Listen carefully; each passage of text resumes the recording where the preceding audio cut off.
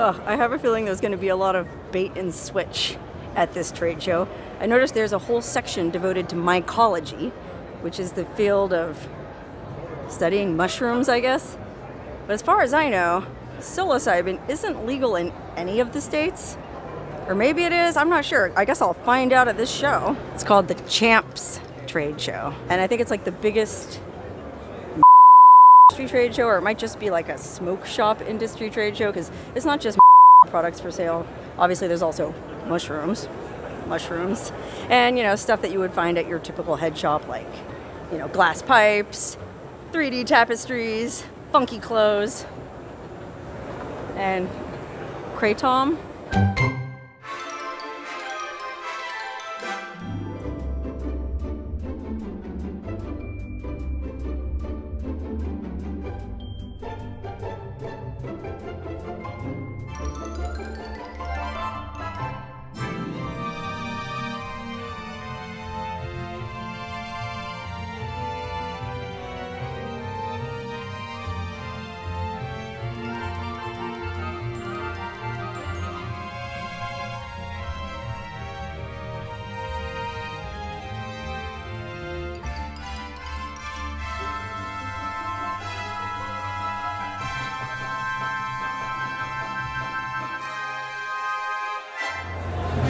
Wow, this trade show is so much bigger than I remember it.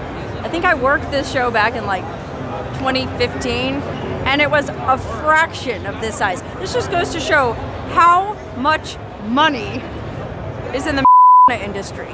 No kidding. Now that marijuana has been legalized either recreationally or medically in 37 states, the weed industry really is booming. And the Champs Trade Show is basically a one-stop shop for counterculture fun. Walking around the convention center, I felt like the proverbial kid in a candy store.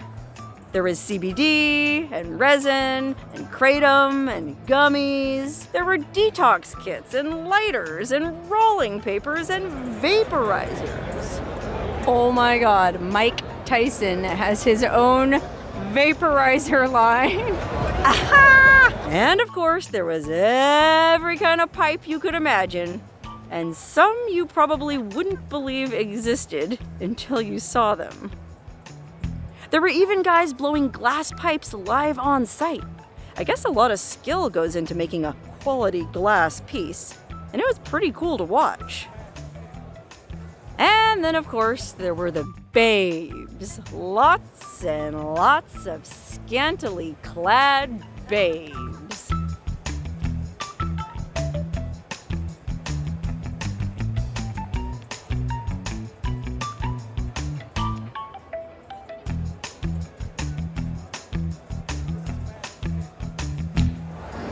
How's it going? Going great. You look fantastic. You look incredible. Well, we're different. I was gonna say you, you look very on brand. sisters from another mister. Absolutely. And there were an astonishing number of mushroom related companies at the show. So even though psilocybin is still illegal most places, I learned that it's already been decriminalized in Colorado and Oregon, and in a surprising number of cities, including Washington, D.C. How about that? I'm sure legalization isn't far off. And speaking of legalization, if you grew up back in the 1960s when you had to sneak a puff in the bushes or behind the bleachers and just possessing a joint could get you jail time, it must be mind blowing that is legal one way or another in 37 states and even in Washington, D.C. Of course, that means there are still 13 states that do not allow the consumption of but thanks to the 2018 Farm Bill passed by Congress, which legalized agricultural production of hemp, there's a loophole. Even though hemp has far lower levels of THC, which is the psychoactive compound that gets you high, than regular it does still have a small amount, and some industrious genius figured out a way to legally distill something called Delta 9 THC from hemp plants. And now Anyone can get a buzz legally no matter where you live. So, of course, hemp derived Delta 9 products were everywhere at the trade show.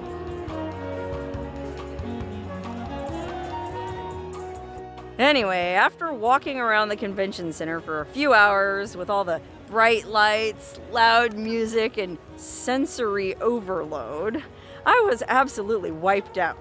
I couldn't wait to go back in the bathroom and take off that friggin' headdress and head back home to the peace and quiet of the desert.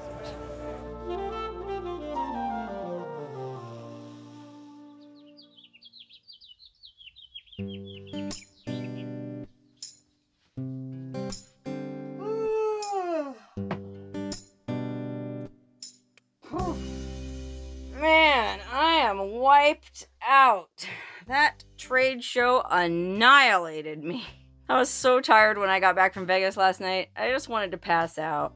But if you've been watching my channel for any length of time, you know I have a hard time sleeping, and it doesn't seem to matter how tired I am. I mean, one time I even hiked the entire Grand Canyon, all the way from the top to the bottom and back to the top in one day, and I still had a hard time sleeping. Fortunately, this time I had something to help me, and it's actually the reason I went to the trade show in the first place. I took one of these sleep aid gummy candies that are made with melatonin, CBN, and Delta 9 THC, and I zonked out. I slept for about eight hours, and it was good sleep. Mm. But I didn't go all the way to Vegas and walk around a trade show for four hours just to get a free packet of gummies. No, I went because I'm launching my own line of gummies. Okay, you know how I was talking about Congress passing the Farm Bill in 2018 that legalized the production of hemp derived Delta 9 THC products?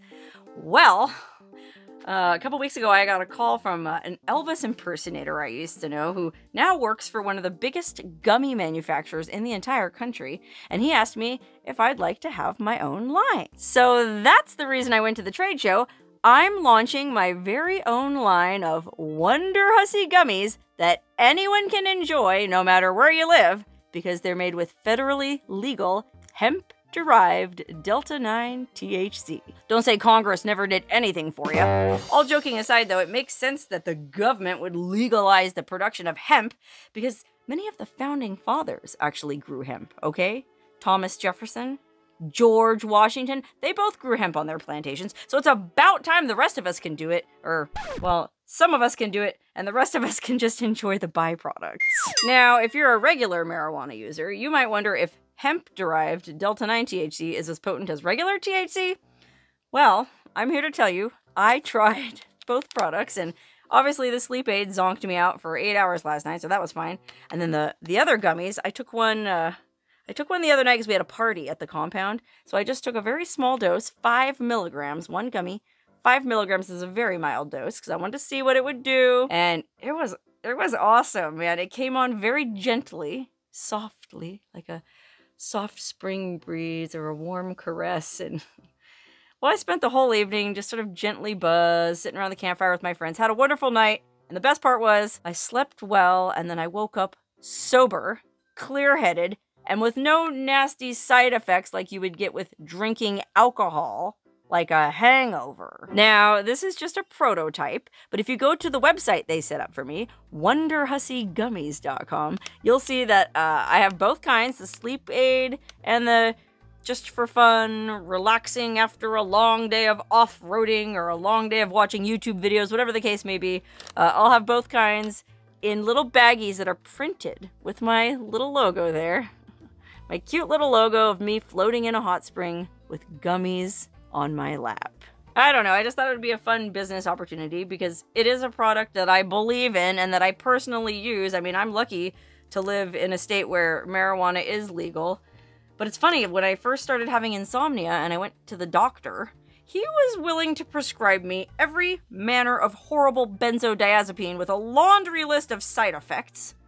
But the answer to my problem was right here all along in a plant that's been grown in the United States since the days of the American Revolution. So if you want to try my gummies, head on over to wonderhussygummies.com. Everything is lab tested, non GMO, vegan, and totally organic, so you'll know you're getting a quality product.